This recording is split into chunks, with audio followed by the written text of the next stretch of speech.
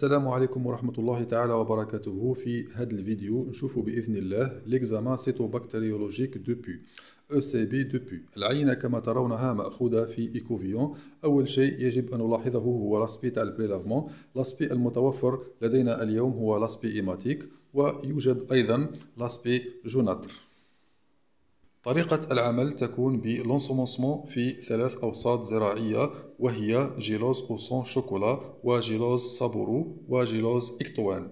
نبدأ ب gélose Hektoen الملون باللون الأخضر حيث نقوم ب l'ensemencement على هذا ال gélose بهذا الشكل الموضح في الصورة.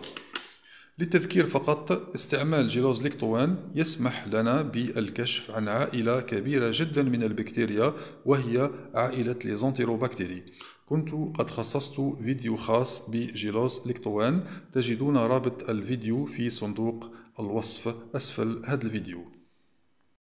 للتنويه فقط يجب العمل أمام bec benzène واحترام قواعد العمل في المخبر البكتيريولوجي لتفادي أي شكل من أشكال la contamination ثم نقوم ب l'ensemencement بنفس الطريقة على gélose au sang chocolat هذا الذي يظهر في الصورة باللون الأحمر للبحث خاصة عن les cocci Gram positif مثل streptocoque و staphylocoque وخاصة البحث عن ل Staphylococcus aureus. يمكن إضافة أيضا gélose رابع وهو gélose Chapman للبحث عن ال Staphylococcus يوجد رابط فيديو في صندوق الوصف خاص ب gélose Chapman وزراعة Staphylococcus aureus على هذا ال gélose. وأخيرا نقوم ب l'ensemencement على وسط Sabouraud الذي يظهر في الصورة باللون الأصفر. عملية l'ensemencement على هذا الوسط تكون بنفس الطريقة كما هي موضحة في الصورة. نستعمل gélose Sabouraud للكشف عن كل أنواع الفطريات التي تتسبب بإنتانات فطرية مثل ال Candida albicans وغيرها. قمت سابقا بتخصيص فيديو خاص يتحدث عن gélose Sabouraud. رابط هذا الفيديو تجدونه أيضا في صندوق الوصف. بعد الانتهاء من l'ensemencement والزرع على الأوساط الزراعية التي ذكرناها سابقا نقوم بإضافة قليل من الماء الفيزيولوجي إلى العينة كما تلاحظون في الصورة. الهدف من إضافة الماء الفيزيولوجي إلى العينة هو التحضير لل examen direct à l'état frais entre lame et lamelle كما تشاهدون في الصورة نقوم برج l'écouvillon لضمان خروج محتوى القطن واختلاطه بالماء الفيزيولوجي.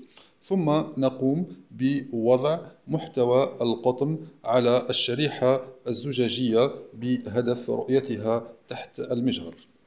يمكن أيضا القيام في هذه المرحلة ب la de Gram الهدف منها هو معرفة شكل البكتيريا هل هي cocci أو bacille وهل هي Gram positif أو Gram négatif. كما يمكن أيضا القيام ب la coloration MGG لمعرفة نوع الكريات البيضاء الموجودة أو المهيمنة في هاد la réaction inflammatoire أي القيام ب équilibre leucocytaire يعني هل هي polynucléaires neutrophiles أو عبارة عن des lymphocytes هذه المعلومات تساعد الطبيب في التشخيص.